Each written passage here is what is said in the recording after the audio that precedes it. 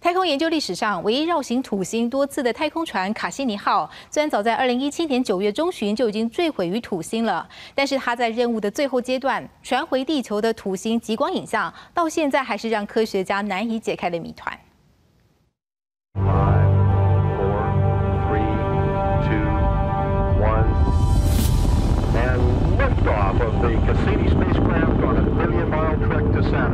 经过长达六年又九个月的飞行，卡西尼号从两千零四年开始进入土星轨道，成为第一个环绕土星的太空探测器。直到二零一七年九月十五号中断讯号为止，它总共环绕土星两百九十四圈，拍下超过四十五万张的土星本体以及土星环的影像。其中，在它任务的最后阶段，也就是二零一七年四月下旬开始，卡西尼穿越土星环，并且接近土星本体。当时所拍下的土星极光影像，在任务终结两年多后的现在，仍旧让科学家们难以解开谜团，却也使得研究人员津津乐道。What's new is that we're up close with Cassini. And that enables us to see details that we've never seen before. Cassini cameras are using visible light, so this is the first time we've got uh, really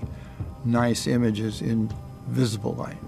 地球的极光是太阳风粒子撞击地球磁场所产生，在高纬度地区可用肉眼看到变化多端的光影变化。土星的极光虽然也在南北极附近发生，但本质上却属于紫外线，必须特别处理后才能像这些照片或动画让一般人的肉眼看得见。尽管过去也有哈勃望远镜拍摄过土星的极光，但这些极光的成因到底如何，科学家到现在还无法解答。由美国与欧洲太空总署，也就是 NASA 和 ESA 合作，总计二十七国参与的卡西尼计划，包括首度绕行土星的卡西尼号，以及登陆泰坦卫星的惠根斯号，在两度延长前后一共十三年多的任务期间，找到了六颗后来由科学家命名的土星卫星。飞越这些卫星的次数达到一百六十二次，研究范围涵盖土星本体以及大气层、土星环以及各个卫星的结构和动态。The discoveries that Cassini has made over the past 13 years in orbit,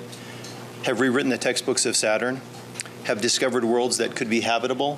and have guaranteed that we will return to that ringed world. 不过，按照各国太空研究机构的时间表，对于太阳系较外侧的行星，未来十年内的重点是放在木星，包括绕行木星以及围绕木星的几十颗卫星。至于土星，下一次登陆泰坦卫星的太空船，至少要等到二零三四年才会上路。记者徐家人报道。